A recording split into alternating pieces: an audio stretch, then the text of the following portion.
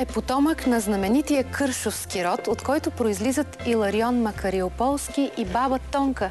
Нейна братовчетка е еврокомисарят Кристалина Георгиева. И после някой да ми каже, че гените не са важни.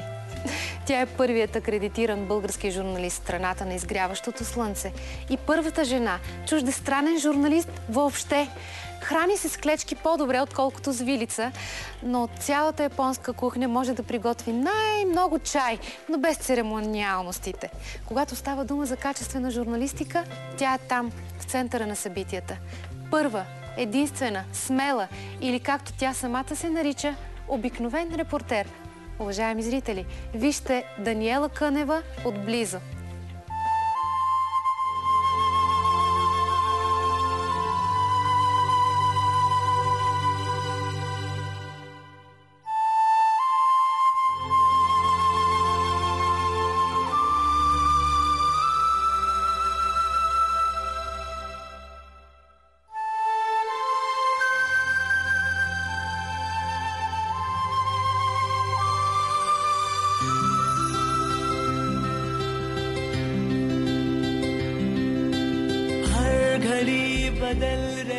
Здравей, Дани! Знаеш ли колко се радвам да си мой гост? Здравей! Сложи си елегантните обувки. Ами да, защото съм при теб. Аз иначе, нали, наши имам прословът клошарски вид. Защо? Защо така ти е по-удобно да, Да, репортер? да, да всъщност мисля. трябва да е Да неглиже. мисля, трябва да мога да мисля. Дай ми тръпчинка, искам за щастие да, пак. давам ти, да. Ей така, тръпчинка ми дава всеки да, път давам Даниел. ти тръпчинка всеки За ден. щастие. А, а познаваш ли какво ти носа? Не, не, не, не Три мога. секунди. Наистина нямам представа. Отвори. Клечки. Заповядай. Това е ордена. Изгряващото слънце. О, който ти получи. Давам ти го да го пипнеш. Той е повече от тръпчинка, който императорски орден, който ми даде японското правителство миналия декември. Да. Не е бил в това студио, затова го донесох. Да. Беше в трето, в шесто. А у вас къде стои?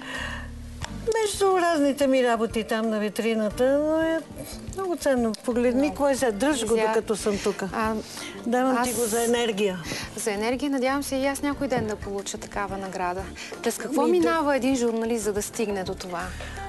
О, Мира, е, не, не, не, не непременно трябва да те наградат. Един журналист, за да може да бъде наричан журналист, минава през много битки, през много сблъсъци.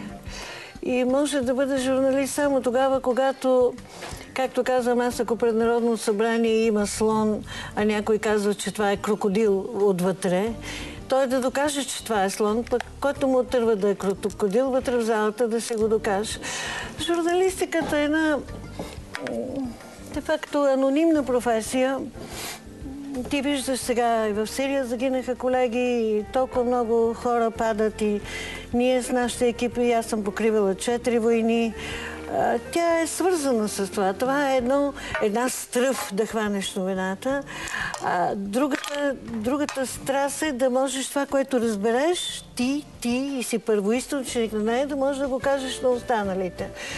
И тя не допуска абсолютно никакво поръчителство. Абсолютно никаква манипулация. Това е смисъла на журналистиката. Нас в университета ни учиха, че няма безпристрастен журналист. Всъщност ни го казаха и аз в последствие разбрах, че наистина е така. Ти Разбира се, че няма безпристрастен журналист, но журналистът е длъжен след като, особено телевизионния, след като влиза неканен в къщата на хората, след като започва да разправя разни работи на малкия екран, докато ти си се прибрал при себе си, в себе си, е е длъжен това, което говори да знае, да е проверено, да е точно. И на всичкото отгоре, особено телевизионният журналист е длъжен да щади хората. Не можеш непрекъснато, както ние правим напоследък, и това не е само България, но ние сме страхотни в това отношение, да наливаш масло в огъня. Хората и без това в този наш все по-объркващ се, може би, за да се оправи свят, а, са достатъчно напрегнати. И затова аз така поздравлявам тебе, екипа ти, страхотни млади хора, много приятни, че вие се мъчите така да измъкнете доброто, светлото в нещата, защото знаеш, света е 50 на 50. Казваш, че света се разбърква, за да се оправи. Вярваш ли в това, че тази година е финал на нещо, за да започне нещо друго в духовно? Вярвам. Нали? Вярвам. Вярвам, защото никога не се е обърквало толкова много. И последния филм, който правихме в Индия, от това, което сме избрали за вашето предаване, има там едно гуру, 109 годишно, Бог да го прости вече. Това е първия, да, Свами Дев Свами Мурти. Дев Мурти, да. Свами Дев Мурти. А, и той казваше така, и Шри Ширави Шанкар, който ще дойде през май пак в България, и той казва така. И Локаш Чандра е един от големите учени на Индия, който познава много добре индуистката и тибетската култура и философия. Виж какво, в пантеона на индийските богове, който никой не е дръзнал да ги преброи, нито пък шинтуистките в Япония, защото те са хиляди. Там има и с хиляди аватари. нещо, да. Има небесни и земни жени. Един бог може да се яви в стотици превъплъщения. Но в този пантеон има бог Шива. Ти знаеш онзи танцуващия, който е много интересен за това, че той е известен от триединството индуистското като разрушителя, но той всъщност разчиства за да се появи новото. Много хора тогава, така от мъдрите хора в Индия ни казаха, че тази глобална финансова криза, това объркване в света идва, за да може нашата цивилизация да се издигне на едно по-високо ниво, духовно защото този консумативизъм ни задушава. А не на последно място, ние белите хора сме го втъкнали в гените на сегашните поколения. И аз вярвам, че е така. Разбира се, че няма да дойде края на света, но катаклизми ще има.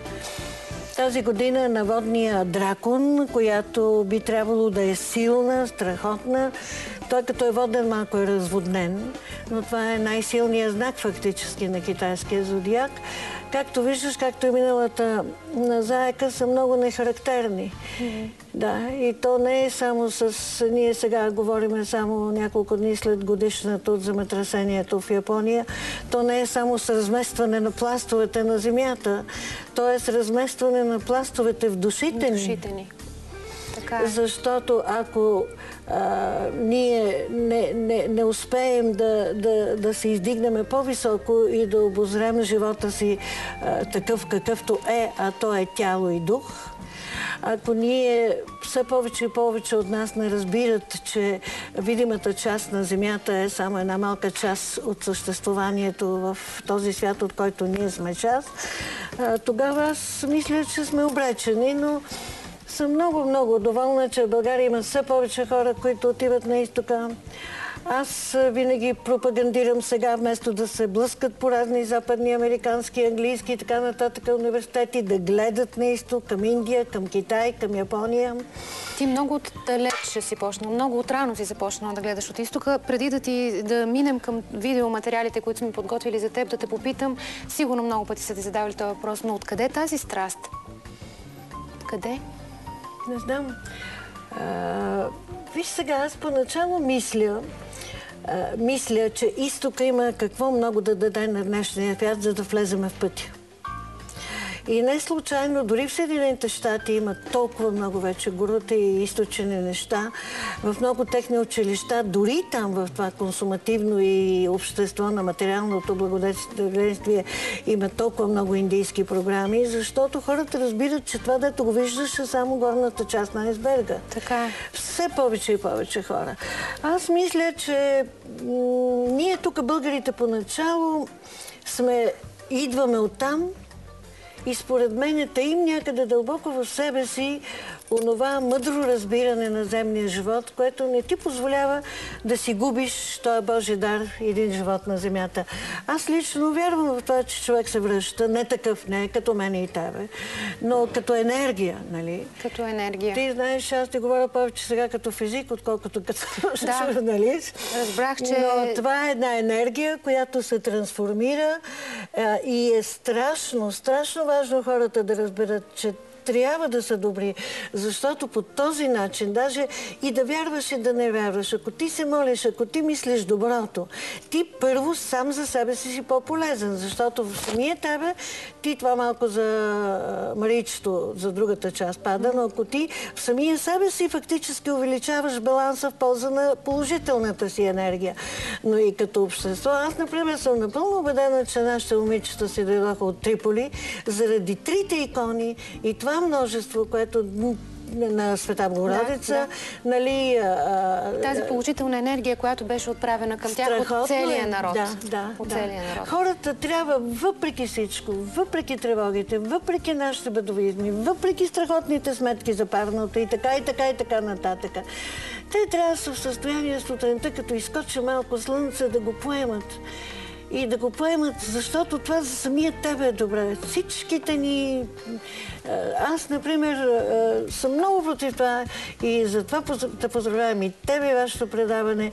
Ние по телевизията да бълваме от сутрин до вечер насилие и проблеми. Не, от сутрин започваме да променяме по-малко Да, нещата. да. Надявам се, че това се усеща. Да. А, Няма как обаче, ти си един от най-значимите български журналисти. Е, Много погледи, хиляди, милиони погледи бяха вперени в теб, защото ти беше единствения български журналист единствената журналист жена, която беше на такива горещи места. Сега нашите зрители ще видят откъси от едни от най-емблематичните интервюта в историята на България въобще с Раджив Ганди и Индира Ганди и виетнамския пълководец генерал Зяб. Можеш да ми говориш докато... Е, Тук се случи така, това е след м, катастрофата на по-малкия син на Индира Ганди, Санджай, който всъщност беше готвен за заместник на Индира Ганди. Той се разби на стотина метра от нашето посолство в Делхи край Чанакия Пури в неговия малък реактивен самолет. Фактически се получава, че в дните на траур, аз разбира се без нейно интервю не можех да се върна, по времето, разбира се, на Иван Славко, Бог да го прости, че ние я приехме нея в нейния кабинет. Така се получи. Ами, защото ние чакахме Вие нейния кабинет, да. Тя каза, че ще ни даде интервю и каза много, много значими неща.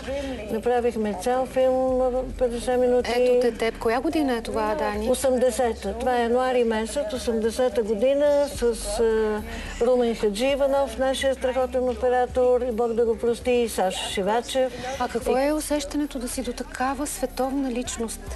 Да, да. Тр- Тръпките побиват.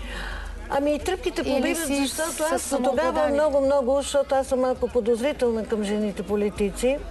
Макар, че сега е епохата Раджив на Ганди, нали? А Раджив площадът Ганди, кой е? Това е последния ден от кампанията.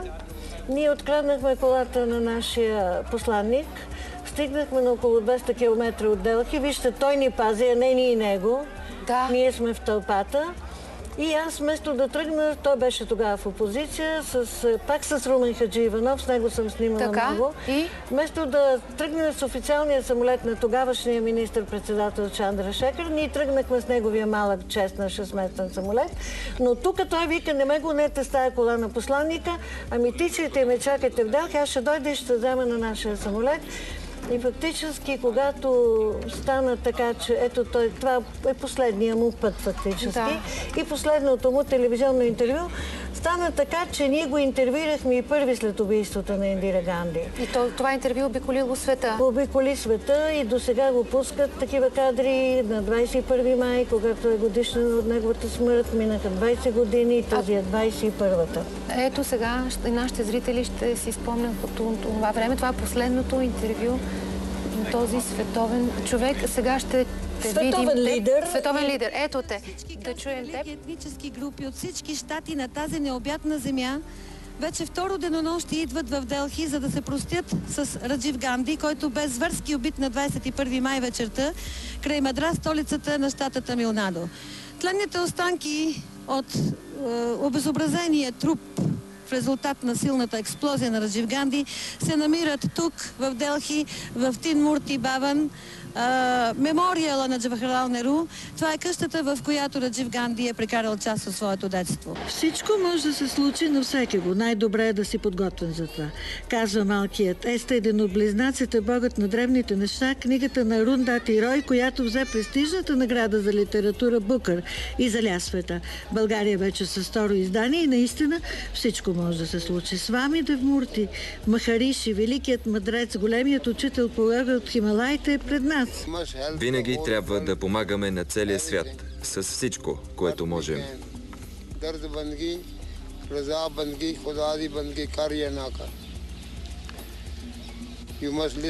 Слушайте се в болките на другите.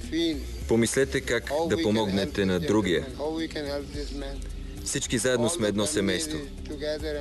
В мислите си пожелавайте доброто на всеки. За добро минало, за добро настояще, за добро бъдеще. Доброто бъдеще трябва да дойде и да остане. С вами Дев Мурти, 108 годишен. Ти Той ли... 9 е тук. Тук е Той 109 е, да, вече. той е първият човек, който преди 42 години е дошъл в България като йога. Пришъл от Индия, един изключително най-истинския йога, който аз съм виждала и мъдри хора от Хималаите. Ученик на големи, големи мъдреци. И тогава неговия, неговия учител, неговото свами, му казва, че трябва да тръгне пеша към Европа. И той тръгва пеша, минава през Афганистан, през Турция, стига до България, прави договор с нашия цирк, събира акъла на абсолютно всички, на поколения български жени, би викали са му лъвската осанка, много красив като млад. Теглил е с косите си а, в цирка нашия камион, лягал е върху, гълтал е саби и въобще такива неща. И Наско Танасов, на женията на наш колега, журналист бащата, той го открива в сплит с един друг негов първи ученик и по-миналата година дойде тук, беше страхотно. Ти си, доколкото знам, ти си била причината той да дойде тук. С вамите в Мурти не е Наско, аз съм така един от двигателите. Един от двигателите може. Ние имаме видео, разбира се. Нека да го видим. Да. Близо 2000 причудливи скалисти острова на 1500 км в морската шир, в залива Халонг, както го наричат виетнамците, а както ние го познаваме с френското му име Тункинския залив към Тихия океан. Преданието казва, че те са се появили тук, за да предпазят хората на тази земя от пришелци отвън. Днес, като че ли залива Халонг е широко отворената врата на Виетнам към останалия свят. ЮНЕСКО ги обявява за поредното природно чудо в света. Но чудото, истинското чудо на тази земя са хората. Върхът в съвременната им история е легендарният генерал Вон Гуензяп. За виетнамеца той е светиня. В света го нареждат сред най-големите пълководци на нашето време. Под негово командване древните на ръст, подвижни и непредсказуеми бойци на Виетнам изнервят и побеждават армиите на три големи сили – Франция, Съединените щати и Китай. Първото в живота си телевизионно интервю, въпреки отказа на тогавашното политбюро на партията, той даде за Българската национална телевизия преди близо четвърт век по време на последната война тук. Резиденцията на 23 годишния генерал в центъра на Ханой привлича като магнит световния медиен и професионален елит сега в навечерието на 50 годишната от победата над французите при Диен Биенфу.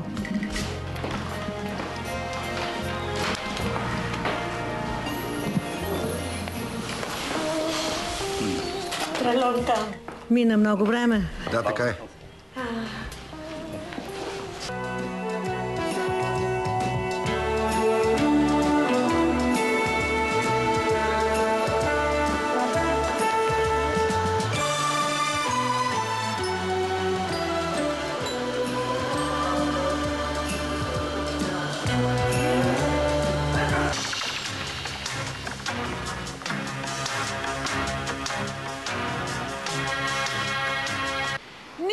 Всяко новородено японче посяга вече първо към дигитална камера. Тук хората вече измислиха и дигитален кибрид. Всяко дохосване до японска земя ни тласка към размисъл. Не са ли някои цивилизации, древни на изтока, основание да мислим днес, че традицията е в основата на едно дръзко свръхмодерно развитие. Че там, където традицията ревниво се пази, хората успяват вече да прекрачат, да стопят границата между фантастиката и реалното. И че докосването до тези реалности е всъщност шанс за една среща в бъдещето. Стига да имаш умението да тръгнеш заедно с тях.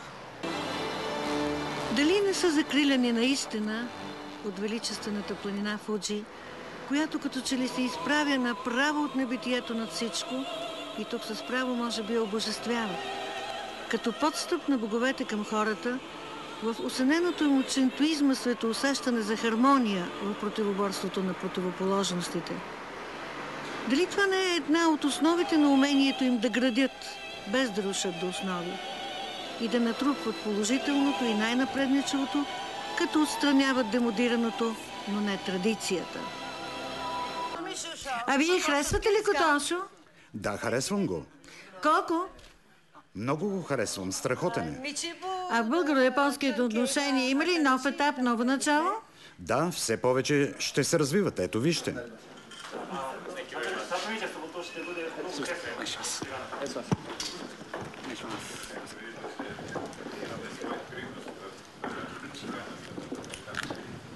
Казват, че в тази зала не се е случило да се прокрадне въпрос за интригуване и самият премиер. Японските журналисти сред най-професионалните и напористите в света искат да разберат какво е казано дума по дума. Ето това исках сега да чуем. Защо в историята на Япония ти си може би най-големия нарушител? Ами, защото а, за да снимам това, което трябва да снимам, страшно много съм нарушавала. И когато посланника с такава почет, чак, чак, защото те обикновено награждават журналисти. Ние не сме Не награждават. Не. Обаче, какво ти кажа? Не знам какво стана. И аз тогава е, на чист японски, една от нашите японистки ме научи такъв императорски японски, който разбира се аз с моята журналистика съм научила хамански японски, нали? Не мога да се разправям по улицата Да. насам, натам. Така се извиних, като казах, че смятам връчването на този орден като опрощение, а, което по всички религии, в това число и православието, е много важно, на всичките ми грехове и нарушения в Япония, защото наша камера влезе за пръв път при императора, когато приема, с Дени Кънчев. А, наша пуснали, ти не си нарушила, те са ви пуснали вътре, не можеш да влезеш с, с злом. бе, как са ни пуснали? Винаги нарушаваме. Абсолютно винаги. Ах ти! Да, да. Ама ти защо съжали, че не Аз си мога влезнала да в издам този... книга за нарушения по пътищата като шофьор и за нарушение на правилата на протокола като журналист. Не казвай, сигурно затова те наричат шменти. Защо те наричат шменти? Тук Аз всички я наричаме шменти. Аз съм си го измислила. Ами Бойко Димитър Иванов твърди, че това брат ми го е, той също е панист и еколог, го е измислил, защото той беше хокеист на времето и те били или на леда шменти капели, но общо взето Въргала трябва да ни дава авторско, защото аз съм измислила това шменти капели и така Бойко Те много, да вика. много хора трябва да ти дадат на тебе авторско, но Да, само да, да. те питам, само да кажа на зрителите, че ам, така, правейки едно интервю, за малко е минала китайската граница, ще ли да я приберат в китайски затвор и какво казала моята гостенка, уважаеми зрители? Жалко, че не ме прибраха. Тък му щях да видя какво е в китайски затвор. Ами, Толкова много, ли да, си любопитна? е. Ами виж сега какво. Аз мисля, че съм много благословена с тая безумна съдба, да не използвам другото мое клише, защото то става само за екипа ми. Кажи де. Нека да го знаят зрителите. Аз винаги... Перверзно. Да. Перверзно. Аз винаги казвам, че... Виж сега, Телевизията е медия, която трябва да бъде перверзна, но не в перверзния смисъл на думата.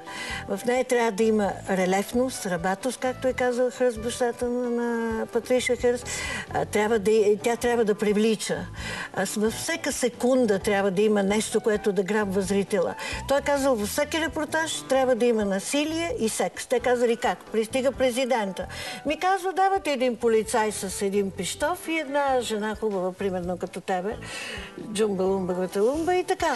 Джумба, лумба, обаче свърши нашето време. Сигурна съм, че, че, че ще ни бъдеш отново на гости. За нашите специални хора ние имаме специални подаръци и разбира се, към теб е нашият а, подарък днес. Това е една японска а, фигурка, миниатюра, О, колко е хубава тя е с кимоно. Нали? Ми много благодаря. Искам да си спомняш Много. с а, усмивка за нас. И Благодаря ви пожелавам а, много, много, много успех и ако имате нужда от первезни идеи, аз съм наличен. Заповядай в нашия екип. В моят жаргон това означава необикновено, хубаво, невероятно и ви пожелавам всичко най-добро. Много ти Да. благодаря. Ние с вас, уважаеми зрители, ще се видим отново утре. В понеделник. Слушайте.